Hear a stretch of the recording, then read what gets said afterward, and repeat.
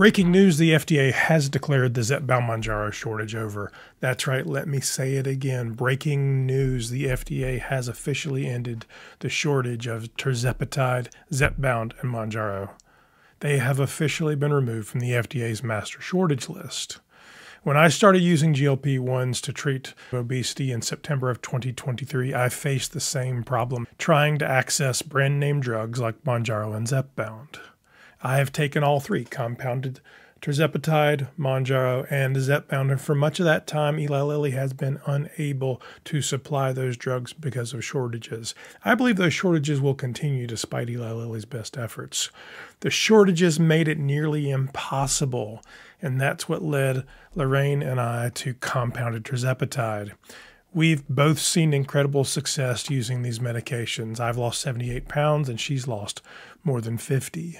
But now, with the FDA declaring that shortage officially over, this has the potential to limit access to compounded tirzepatide severely.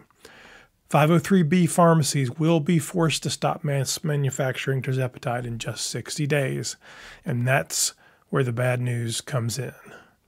This news has the potential to end or dramatically decrease the compounding of tirzepatide, which could directly affect the tens of thousands of Americans relying on compounded medications. These compounded versions have provided an alternative for those who cannot afford the sky high prices Eli Lilly charges for Mounjaro and Zepbound, all while making billions of dollars in profit.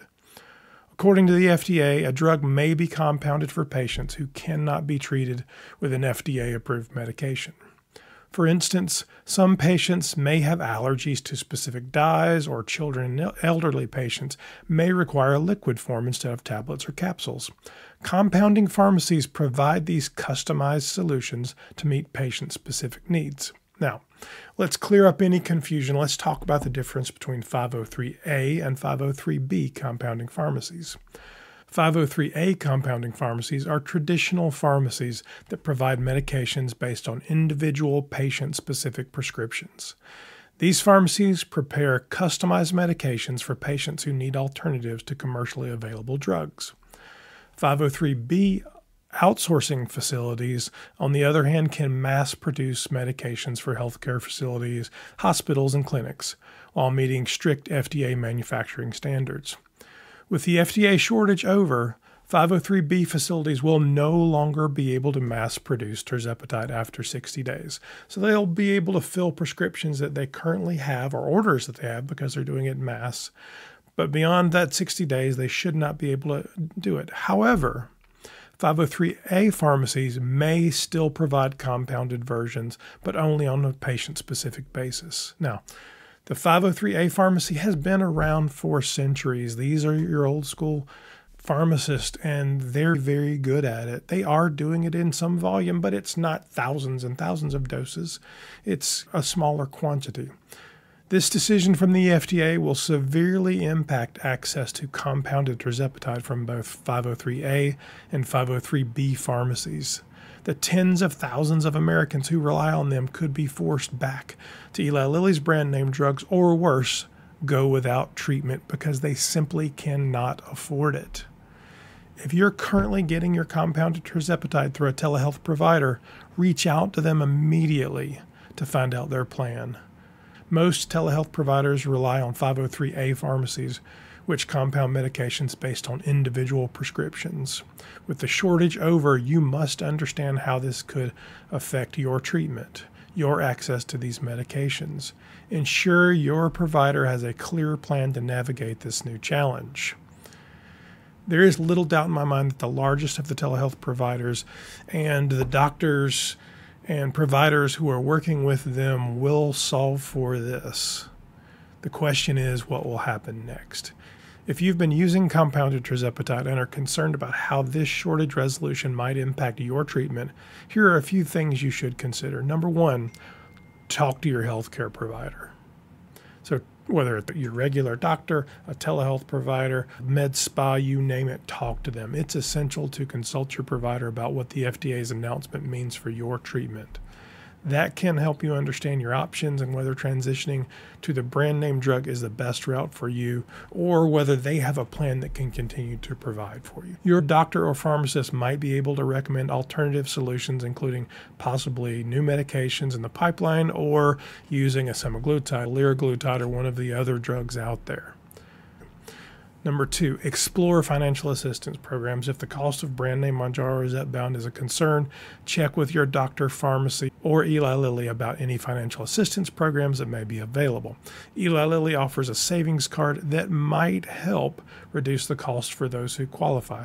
But unfortunately, it is still very costly. They are still making billions off of their patients and charging exorbitant rates. Number three, consider insurance options. This is the time of year for it. If you're paying out of pocket or have high copays, now might be the time to review your insurance options, look into whether other plans might cover these medications at a lower cost. So many of us, like Lorraine and I, are buying this off of the uh, marketplace. There may be options out there for you. Unfortunately, there has not been for us to date, but things are changing. Number four, stay informed. The situation about compounded tirzepatide is evolving. Stay updated on FDA policies and any potential legal changes that might impact your access to affordable treatments. Of course, we'll do our best to inform you. This is not the end of the fight for compounded tirzepatide. This is just the beginning. Doctors will write prescriptions for compounded tirzepatide. There's no doubt in my mind. They will figure out a, something to add to it or a way to change it. They will meet FDA regulations, and Eli Lilly will get pissed off about it. And there will be lawsuits, no doubt in my mind whatsoever. And it will get even nastier than it has been. Eli Lilly is dead set on increasing and protecting their profits with little concern for you and I. Our legal system is slow and cumbersome, and that will play to our advantage.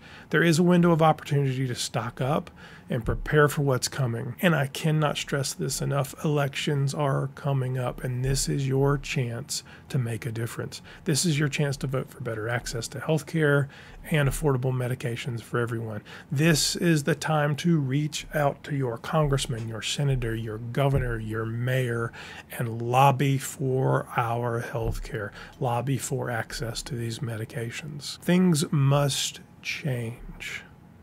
You know that. I know that. Eli Lilly knows that.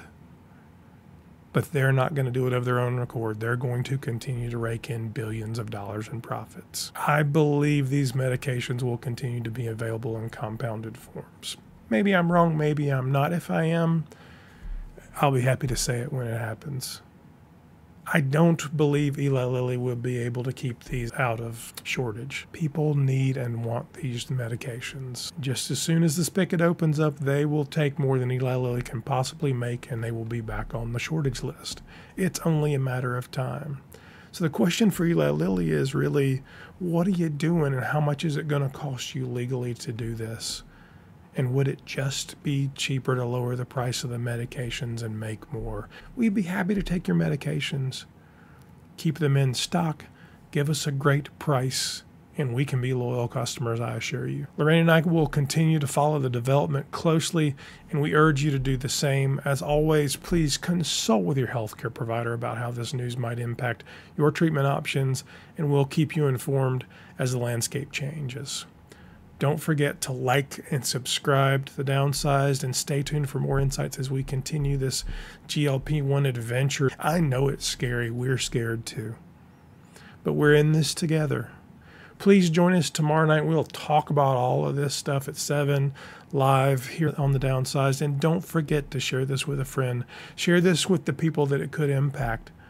Spread the news of what's going on. Spread the news of what Eli Lilly is doing and reach out to your elected officials. We can make change. More than 40% of the American public is overweight or obese. It's a voting bloc that is larger than anyone else. We can make a change. I'm Christopher Durham, and we are the downsized.